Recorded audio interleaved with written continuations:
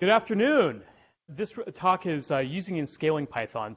Um, I apologize for a lack of reverence, but over the last 11 years in putting Blue Gene on supercomputers, um, a lot of reverence has left me. The first week I was uh, at the LCF, I had a conversation with a very senior performance engineer who will go unnamed. But in a heavy Russian accent, imagine him saying, People are doing high performance computing with Python. How do we stop them? And having come from a Perl background originally, Python seemed to be a world of fixes and stability. Um, and so, why not enable them? And so, part of the reason for this talk is, well, frankly, Python's popular. It's a lot more popular than it was even a few years ago. Um, it's come up on top of CodeEval's rankings. It's at the top of IEEE Spectrum's rankings.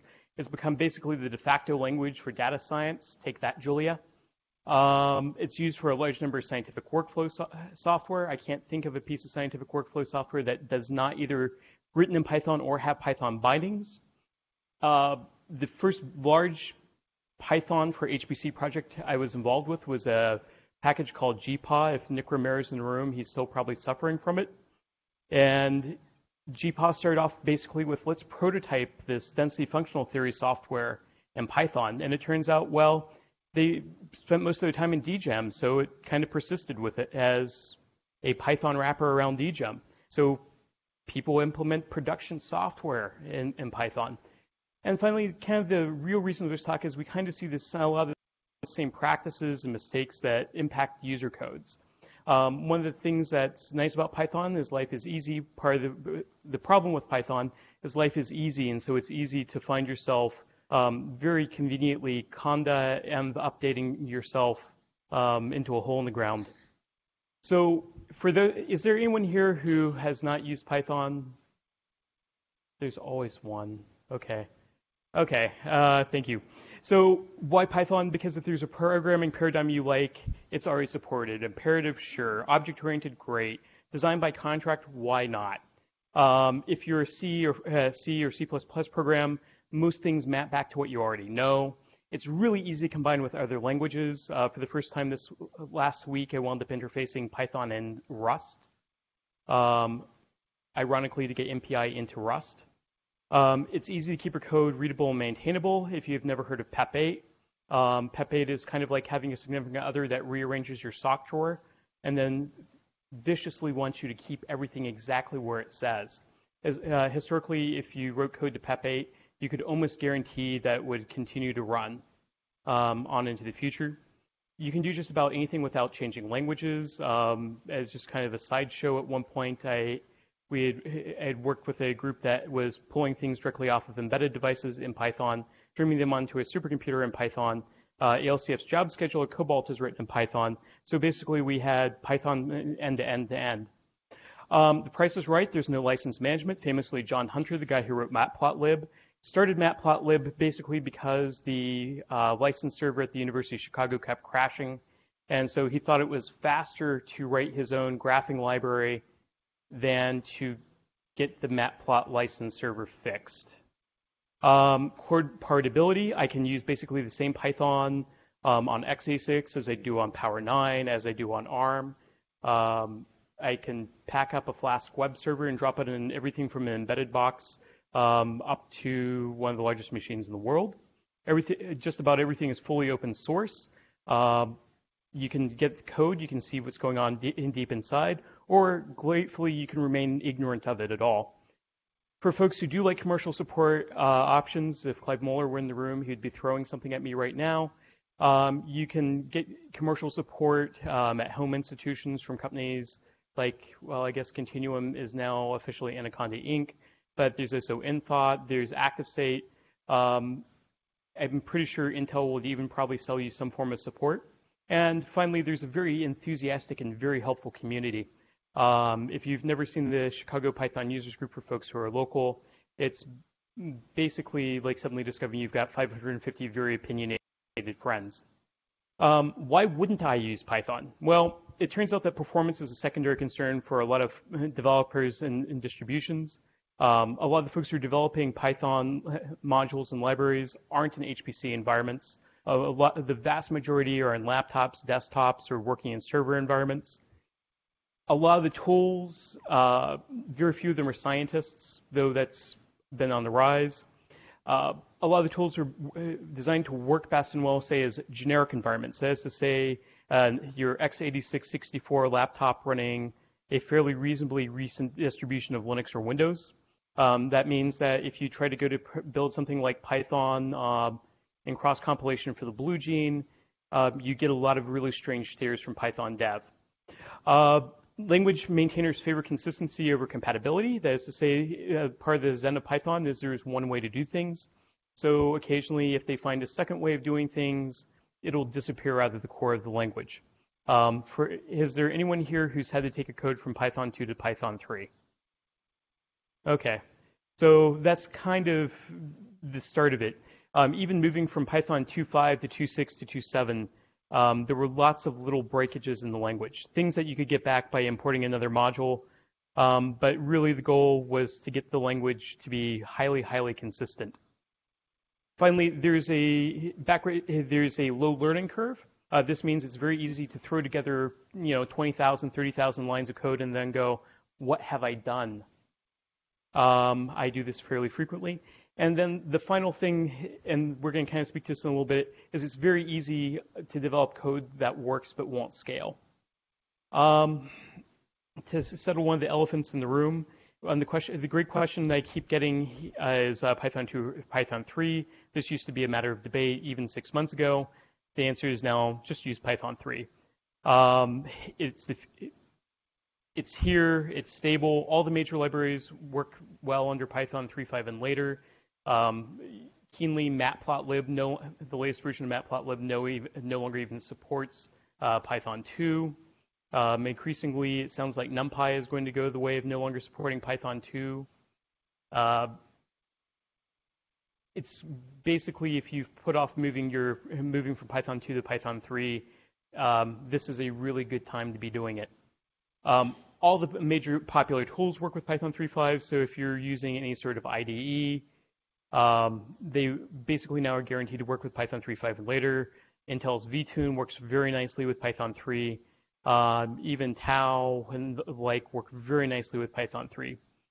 Um, one of the important things to think about is that Python 3's loaders and most of its inter- internals now are written in Python. That was done to kind of get closer and closer and closer to a self-hosting Python. This means that there are some compromises for people in HPC spaces because um, file I/O does kill us. And the more small files you have in a file system, like say a Python interpreter written in, with most pieces in Python, um, then you do begin to see slowdowns and overheads. But there are ways around that. Um, and the final real reason for moving to Python 3 at long last is Python 2 development is effectively stopped. There will be no Python 2.8. Um, they've declared, declared that from the hills basically what we'll be seeing from here on out is security and bug fixes. No new features, no more backporting. Um, they would, everyone would like to go on to making uh, Python 3.7 and Python 3.8 the best things ever. So one of the things to think about is that Python at ALCF is every system we run is a cross-compile environment except for Cooley. And one of the things right off the bat that tends to hit people is that almost nothing in the Python universe was developed for cross-compiling. This means pip, distutils, setup tools, and Anaconda really aren't meant for having one architecture on the login and another architecture for computes.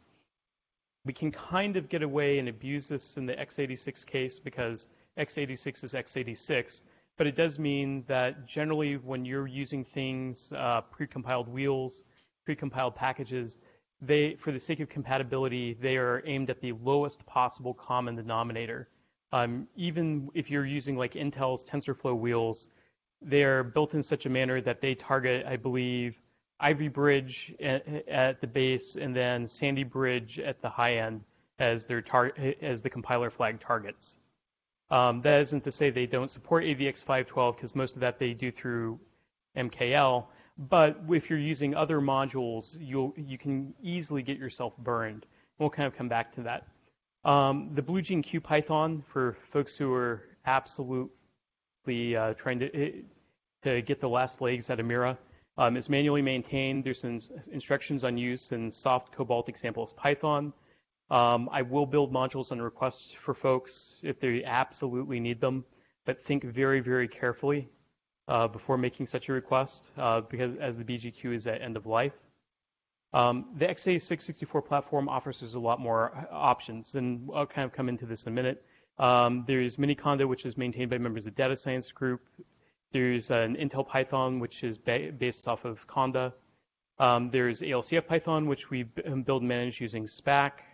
Um, the Spack Turing Squad is off to my side, um, which is uh, loadable via modules and an update for it's coming soon. Or if you, you're really you, you've built Python into a larger framework, you can even bring your own Python, usually without too much pain. Um, we do there's a, and this is more of a personal opinion than a, a royal we. Um, it, it's useful if people install their own environments. That is to say, they use tools as designed if you're using Conda or the like, create environments because otherwise what will wind up happening is it becomes very easy for parts and versions to shift underneath you and kind of shoot you in the foot. Um, at the same time, using tools like Conda make it very easy to shoot yourself in the foot.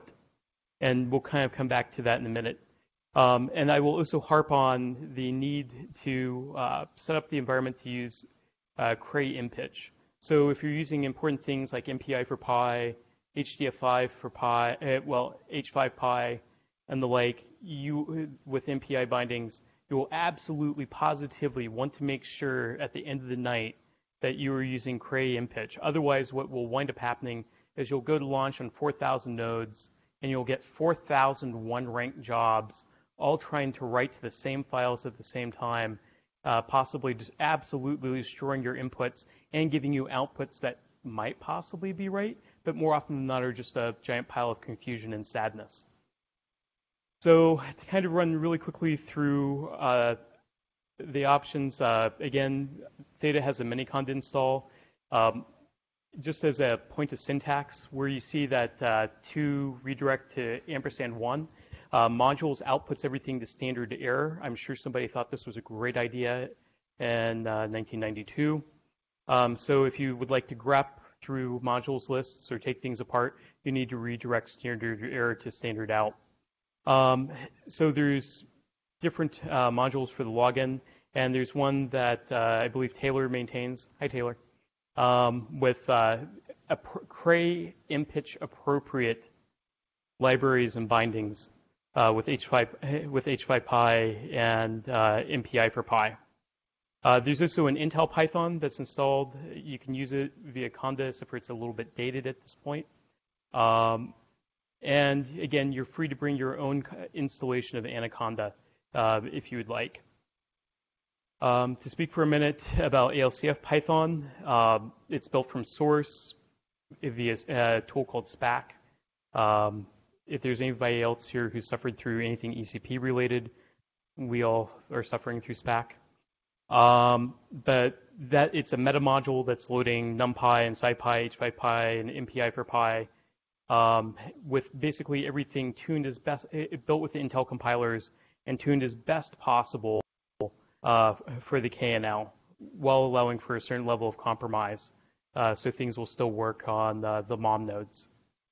Um, if you're using the ALCF Python, um, I would at the very least look into using a tool like virtualenv, um, just again to keep your environment straight. Uh, if you have already started a workflow using Conda, I recommend you know continuing your life in Conda. If you're using virtualenv, use virtualenv, but do not mix the two. Um, they have they look very very similar internally, or they have very, very different life philosophies as to how um, an environment should be managed, and you'll wind up with, again, kind of a giant mess.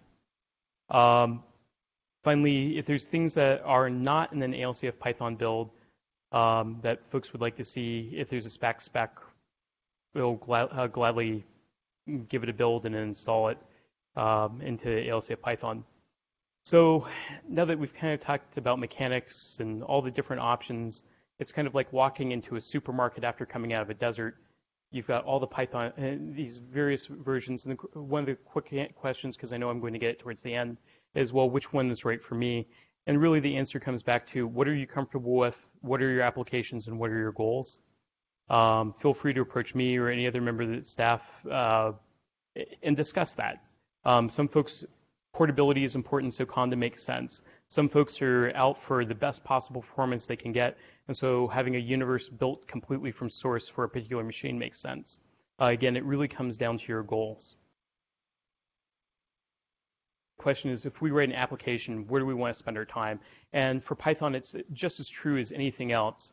Um, we want to spend our time in vector instructions. AVX 512 is gorgeous, it's beautiful, um, and we would like to make the most use of it we can. The next kind of area where we'd like to spend our time is in some form of threading, making use of all the cores on, on a node after we've made sure while we're using all these vector units. And you can get there through MPI, OpenMP, um, it's harassing these parts, OpenACC, or threads. Then you kind of hope that the next kind of layer down is MPI. If you're spending all of your time in communication, you've got a problem.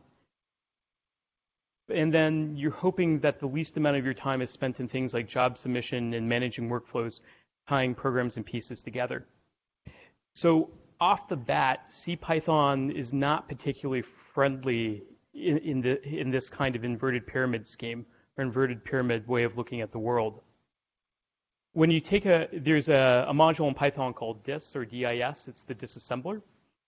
And uh, internally, Python, you can put functions and things into the disassembler, and it will show you how Python's internal stack-based machine is going to take your Python code, take it apart, and execute it um, as as machine instructions.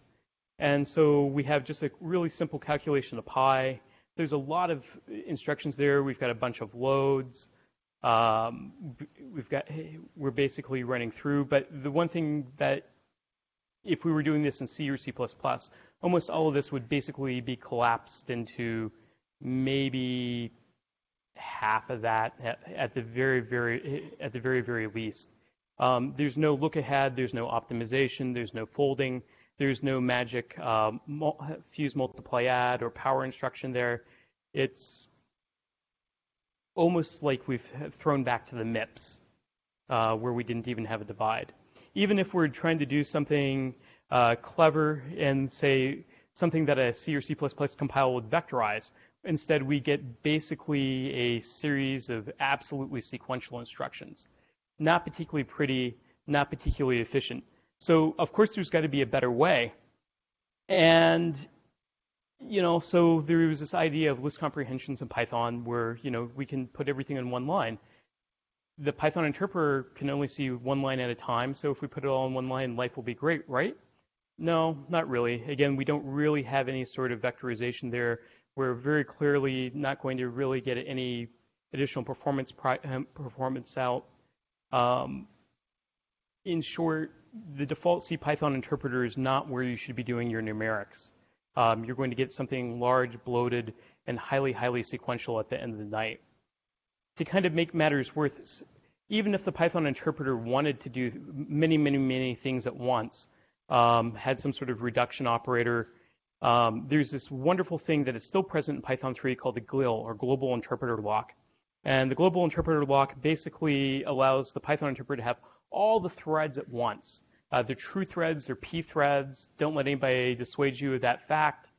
The truth is, all these Python threads can only one at a time can work in the interpreter's memory space. So this has basically meant that historically, if you've won performance, you have to work outside of the interpreter's memory space and compiled modules, uh, things written in Cython, uh, C, C++, or Fortran. Um, I, I will defend the GIL for a moment and say it's already turned off for I/O tasks. So if you're doing anything with sockets or file I/O, it's basically sidestepped. Um, it makes writing C modules a heck of a lot easier than uh, doing so in other languages. It makes maintaining the interpreter easy, and frankly, for HPC folks, the GIL basically doesn't matter because again, hopefully we're doing things often um, external libraries or doing things through offload or an MPI, such that all of our interpreters can can take apart uh, and do their work separately without having to wait for a GIL. Um, kind of a final takeaway is CPython is a REPL loop, read, eval, print, and go. There's no look ahead. There's no automatic parallelism. Everything is piecewise and sequential. Again, I think I've beaten that one to death, but it's important to think about. Um, people have stopped and think. Um, Russell Powers and Alex Rubinsteyn had a really great paper. How fast can we make interpreted Python? And my favorite piece about it. So Python doesn't have uh, types in, in static typing. It's all dynamic typing, and as a result, in the general absence of type information, almost every instruction can be treated as invoke arbitrary method. And that means to make something safe. Basically, you can't really predict. You really can't look ahead you have to stop and treat the data as it is in the moment. So now that I've completely saddened everyone in the room, I think there's a couple people in the back who look like I killed their puppy. Um, how do we get around a lot of this? And it comes down to NumPy and SciPy, uh, really kind of your first, which really should kind of be your first stop for performance improvement. Um, if you're doing your numerics in anything other than NumPy or SciPy, and I'll put a little asterisk that will not be in this talk, but probably the next version of this talk, uh, or with Numba, um, you're basically going to uh, going to have trouble. Um, but it provides us n-dimensional homogeneous arrays. It provides us broadcasting universal functions and ways to write and create new universal functions. There's built-in linear algebra routines, FFTs, uh, pseudo-random number generators, easy tools for integrating with other languages. And again, you basically are handing off all the heavy lifting to something like MKL or IBM's ESSL uh, to your BLAS or LAPACK. Um, there's also a, a, couple additional, additional kind of, I guess you could say, overarching uh, group of routines put together in a package called SciPy, which contains optimization, additional linear algebra routines, integration, interpolation, yet more FFTs, some signal and image processing, and ordinary, ordinary differential equation solvers to SciPy generally looks at NumPy's configs to figure out what's going on. And so we, in fact, a lot of packages, even TensorFlow, look at, back at NumPy's configs to figure out what's going on. So the worst thing you can have happen in this world is to have a bad build of NumPy.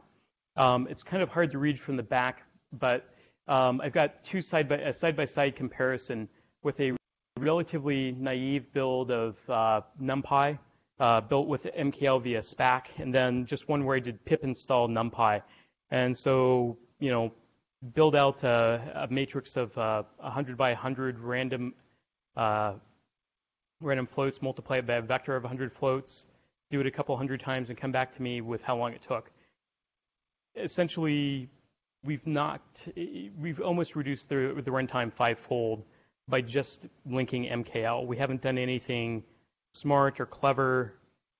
All that is is we've linked MKL just naively, and we've had had a five almost a 5x improvement. So to kind of drive it one step further, why not do some of my numerics by hand? So I have a matrix multiply routine that I wrote. Um, it takes in two, uh, two, uh, two matrices, 100 by 100, multiplies them, did it manually the way I would do if I were a C or Fortran programmer. As if I were doing this in C or Fortran, I'd be doing it in a much nicer way. Um, versus doing it with NumPy, there the return is a 400 time return on my investment by just pulling out my manual my manual code and putting in the, the right routines out of NumPy.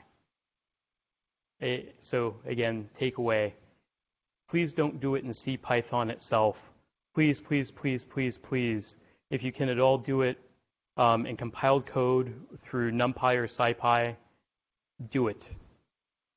So this kind of brings us kind of to the start of a couple questions about parallelism. We have all these cores, how do we make use of them? And one of the things that we seem to find is people crossing the streams. That is to say, folks will accidentally mix two um, OpenMP runtimes. They'll mix OpenMP plus threads oh, for the love of God, they'll break out multiprocessing, and so they'll have multiprocessing inside of a job using MPI, and then in addition to multiprocessing, they'll be using OpenMP, and they get really stumped as to why they're seg faulting. Um, and the tracebacks are very, very hard to read. Essentially, inside of inside of multiprocessing and inside of a lot of the what you would think of as single processor or um, desktop approaches to Python parallelism, such as multiprocessing, you wind up with certain aspects of threads, like in thread local storage and certain um, pieces, say, of MPI being shared in common across those forked processes or containing duplicate data structures. And so it begins to be, become really, really painful. Likewise, if you've got a bad build of something like MK, uh, a bad build of something uh, like NumPy or TensorFlow, where you might have more than one OpenMP runtime, it becomes very, very hard to control. Um, I had worked with someone fairly recently who, as we kind of dug into what was happening and why their code was so slow in KNL, it turns out they had managed to link three separate OpenMP runtimes nested and had wound up with close to 10,000 threads on one node. Um, cleaning up the build was sufficient to get it down to one OpenMP runtime, and it brought them down to about the predicted number of threads. Um, this brings back one important thing, which is when things don't look right, when something like the KNL runs slower than a laptop or slower than the iMac that you had in grad school, it's usually um, a good. The first place that I actually tend to look is, at people at affinity settings on the Cray. Um, under the heading of heresy, sometimes setting CC none as opposed to CC depth and allowing things, allowing MKL to manage your affinity or allowing your OpenMP runtime to manage the affinity will put you out ahead. Um, alternately, dropping down to turning off OpenMP and setting down the number of threads to one, and trying to raise your number of raising your number of MPI ranks.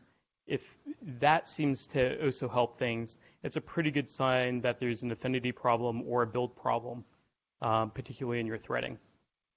So about once or about once a month right now, um, we face a we'll get a, a, question in about using something like Dask um, on our machines, and my answer always comes back: Why not try using MPI first? Um, basically, it's going to probably be for the rest of time the paradigm for interprocess communication on supercomputers. It's supported by every HPC center on the planet. It doesn't matter if you're here or Oak Ridge or on the departmental cluster. Um, MPI is guaranteed to be there. The APIs are stable, standardized, and they're portable. Uh, sorry, C++ folks. Um, and again, it, will continue to be around. The important thing that you really kind of get out of MPI is that your vendor MPIs are built by people who know the machine. They leverage the interconnects and the hardware in a way that other things can't. When you look at things like uh, Dask, Spark, Hadoop, and protocol buffers, unless you're using something like Horovod, which slides in MPI underneath, what you're really winding up with is uh, socket traffic. So you're going over an emulation of TCP IP over the emulation of a socket over this beautiful fancy interconnect. Or worse, if you're using Hadoop, um, you're using your file system as the interconnect, which is, by the way, if you don't run here and you want to drive your file systems administrator crazy, um, a couple terabytes of Hadoop uh, benchmarking is a wonderful way to do it the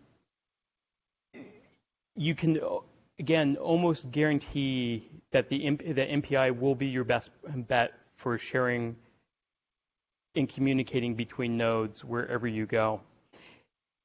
The tools work that work well for MPI in general tend to work well these days for Python. Um, the debuggers, the debuggers even seem to work. Um, though still, I think the best supported uh, Python plus MPI debugger remains Visual Studio 2008, um, just because it had a really nice display and actually could keep track of hundreds of processes. Um, but for the most part, TotalView, um, DDT all seem to be able to handle Python relatively nicely these days. Uh, and finally, Python plus MPI is not a new thing.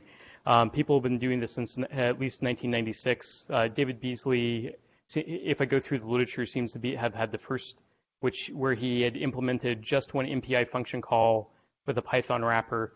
Again, similar to the guy who wrote Matplotlib, John Hunter. he did it because he needed the one function to write his dissertation. Um, for the most part, though, we've standardized on a package called mpi4py, managed by Lisandro Dalcin. It's stable, it's well supported. It, again, matches what the uh, MPI to C++ bindings uh, look like. So if there should ever be resurrection of object-oriented MPI, um, it'll be probably pretty close.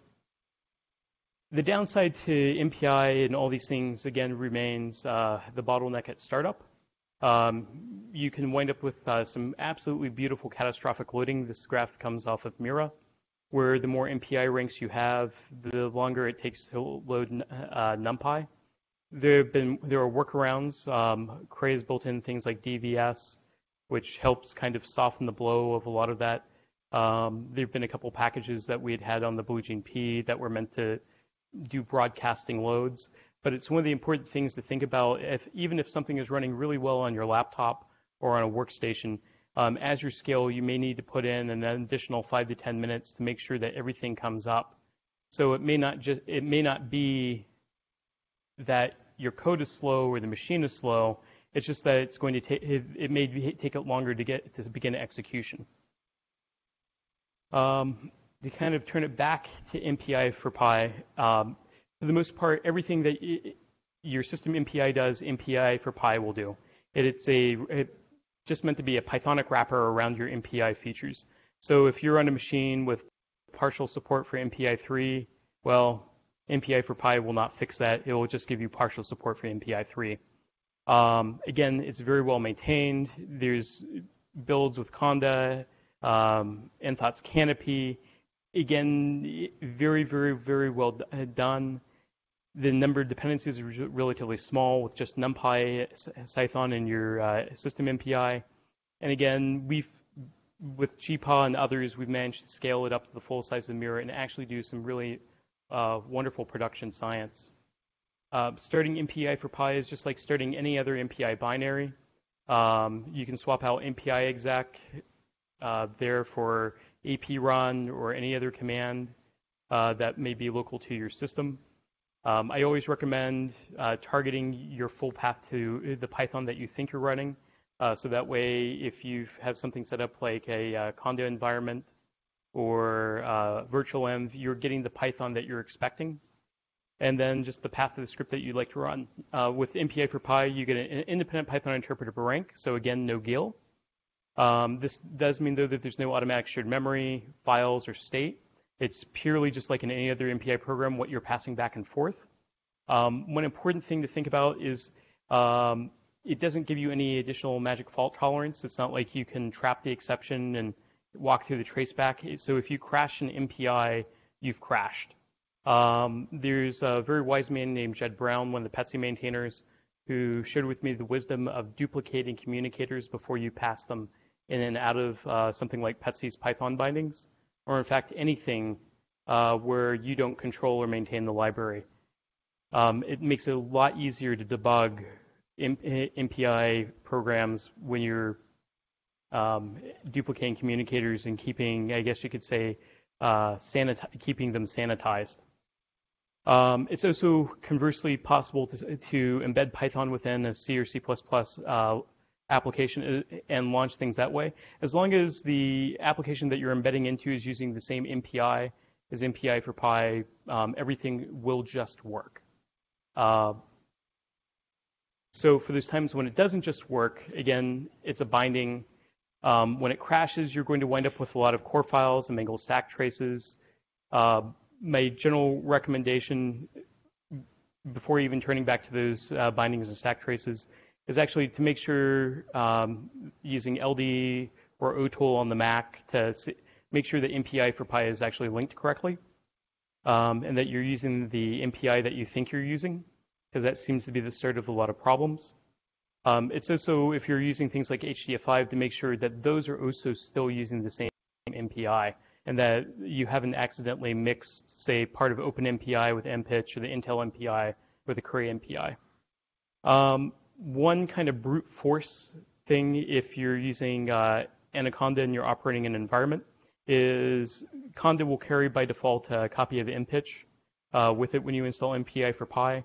And there's a wonderful Cray document that um, I'd mentioned earlier, and I think it comes up again uh, within this presentation.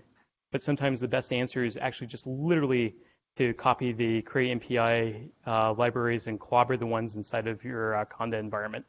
Um, that seems to work 99% of the time uh, for fixing MPI issues. Um, barring that, trying to run with a single rank, making sure things work with N1 uh, is usually a pretty good start. And barring all of that, um, if you have to go digging through core files, making sure everything was built with debugging symbols. Because we're kind of short on and quick on time, um, I'm not going to go through the ins and outs of MPI uh, for Pi. It's basically everything lines up with about what you would expect uh, from uh, any other MPI, MPI, interface. It's just basically that MPI init is uh, called almost by default, but you can call it manually if you want to do something like spread, uh, force the use of thread multiple or funneled or single. Um, MPI finalize, again, is automatically called at exit. So there's no need to do that unless you have a reason for shutting things down. Otherwise, the code that you the code that you're running will run on all ranks um, without an issue. So in this case, uh, we'll get a hello from an even rank from anything whose rank ID rank number is uh, div evenly div divisible by uh, two. Everyone will stop, and then we'll get a goodbye from all ranks, not just the even ones.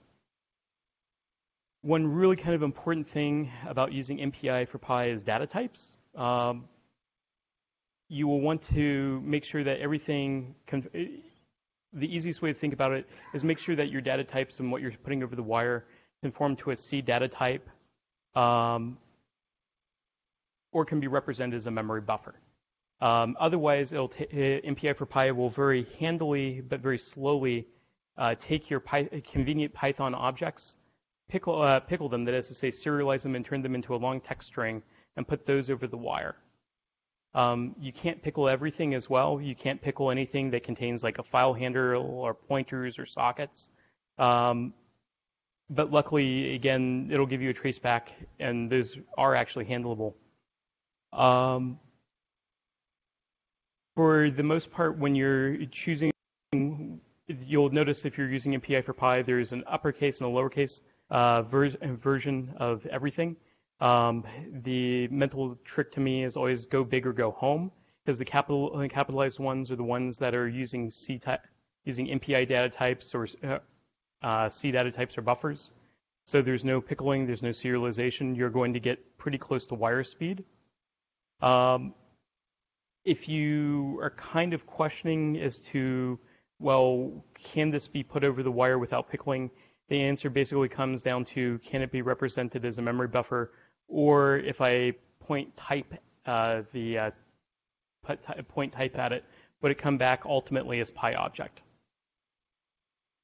Um, again, collectives are kind of interesting because if you use them on Pi objects or any sort of Python type, um, you'll get kind of a naive action. So if you do, say, reduce with uh, sum, with uh, say, Python strings rather than trying to line them up and add them up. Um, instead, you'll get string concatenation.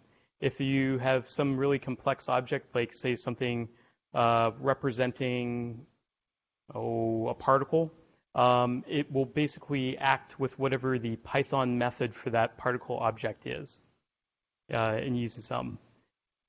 If you are using something that is an MPI data type or, or a C buffer, it will do what is appropriate for and do what is appropriate in those cases. Um, very few very few small surprises there. So again, lowercase methods, Python objects slow, uppercase objects, NumPy, MPI data types at C speed.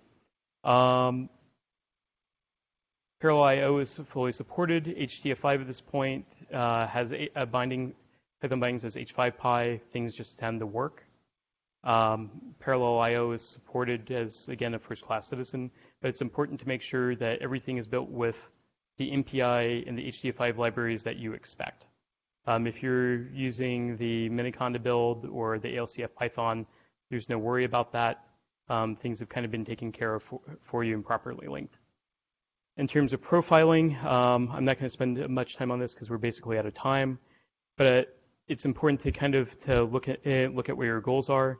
Uh, VTune has actually been really, really valuable in this regard. Um, and it's Python, it, Python support is ongoing and continuing to improve and improve and improve.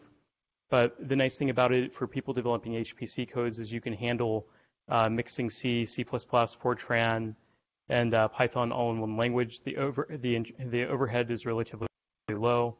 This is versus using something like C profile, uh, C profile or line profile that will tell you where you are within the Python program, but may not be able to give you any insight into what's happening when you hand off the NumPy or you're handing off um, into a custom library.